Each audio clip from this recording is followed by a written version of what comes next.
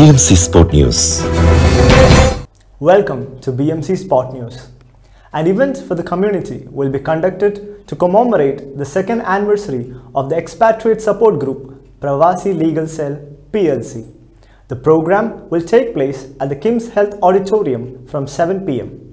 The chief guest of the day will be the Indian ambassador Vinod Jacob, who will be joined by distinguished dignitaries that include MP Dr. Hassan Bukamas, Assistant Under Secretary for Labour Ministry Labour Affairs Ahmad Al Hayeki, Director of Partnership and Outreach for the Labour Market Regulatory Authority Fahad Al Binali, PLC Global President and Advocate on record for the Indian Supreme Court Jose Abraham.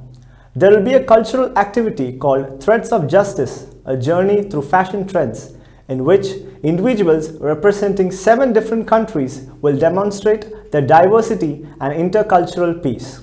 Additionally, there will be a pinning ceremony for the new PLC Bahrain office bearers for the 2024-25 term. The second edition of the Bahrain chapter's newsletter, Bridge, will be launched along with the book cover for an upcoming publication that chronicles the cases handled by the group.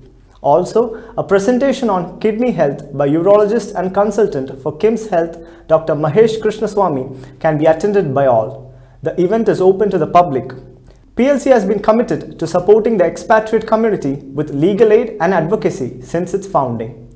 For further more details, contact 3946 1746 or 3305 2258. BMC Sport News.